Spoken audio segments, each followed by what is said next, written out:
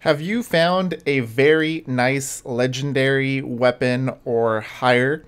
Well, if you see they have a very nice aspect on it, don't just sell it or dismantle it. There is a way to actually take this aspect and place it on a different weapon. So as you see right here, I want to place this aspect onto this bow. All I'll have to do is go over to the occultist in town, which is symbolized by this little triangle symbol over here. Go ahead and talk to them. Move on over to extract aspect. Slot your little weapon into there or armor. You could also do an armor, for example. Let's go ahead and showcase that. Throw an armor in there as well. You can take the armor one or jewelry.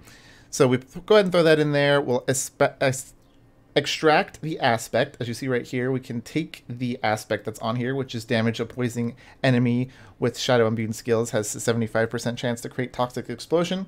We can go ahead and click Extract Aspect. Extracting the, will destroy the item, we'll say yes.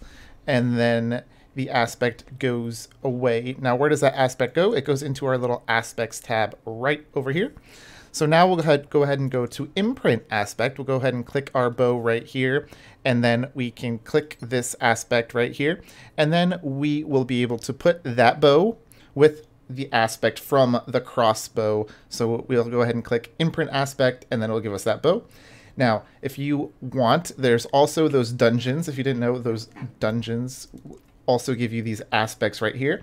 In order to imprint these aspects onto your weapon, you just do the same exact thing, except you're going to have to unlock them. The easiest way to see which kind of stuff you want, just click Show My Class Only. Go ahead and look over all these, see which one you like the best.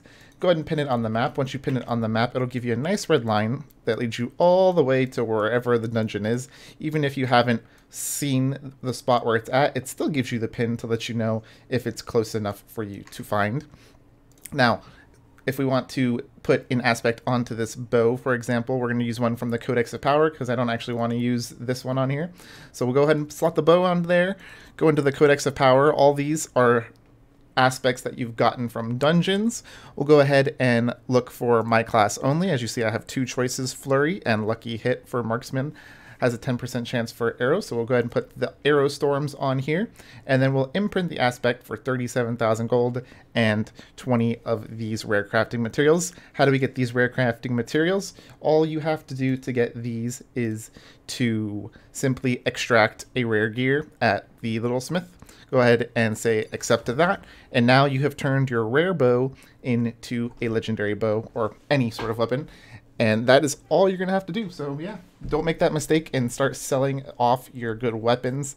You can always, always extract them if it's a nice aspect. Save them over here. And that's pretty much it.